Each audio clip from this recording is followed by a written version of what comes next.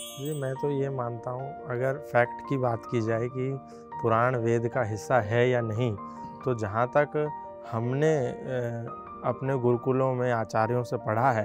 तो पुराण तो वेद का हिस्सा हमको नहीं पढ़ाया गया। और यदि पुराणों का अवलोकन भी किया जाए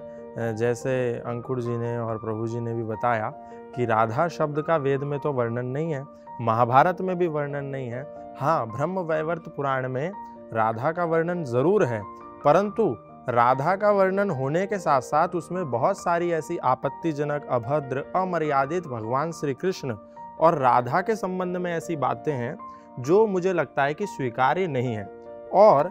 जितनी भी पुराणे हैं, जितनी भी अलग अलग पुराण हैं, उसमें बहुत सी ऐसी बातें हैं, जो मानवीयता की दृष्टि से स्वीकार्य नहीं है।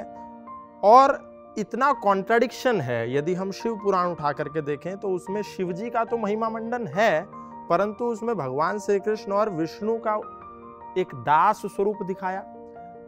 भागवत पुराण उठा करके देखें तो भगवान श्री कृष्ण को ही सुपर गॉड और बाकी सब सेमी गॉड तो ये जो कॉन्ट्राडिक्शन है, मैं समझता हूँ कि ये साफ़ दिखाया जाता, दिख, इससे प्रतीत होता है कि भगवान श्री कृष्ण अपने आप में एक बहुत ऊँचा श्रेष्ठ व्यक्तित्व है, जो हम सब के लिए अनुसरण करने के योग्य है, वो हम सब के लिए एक आइडियल है कि हम उनकी भगवत गीता को पढ़ें, भगवत गीता को सुने, जिस भगवत गीता को भगवान श्री कृष्ण ने अर्जुन को माध्यम बना करके हम सबको दिया,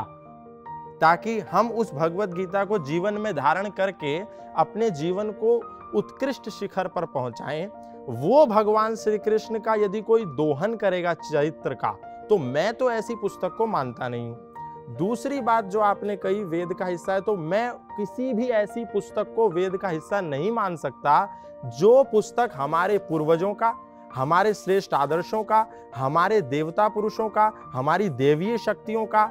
हमारे देव तुल्य पूजनीय लोगों के चरित्र का दोहन कोई भी यदि पुस्तक करेगी तो मैं उस पुस्तक को नहीं मानूँगा।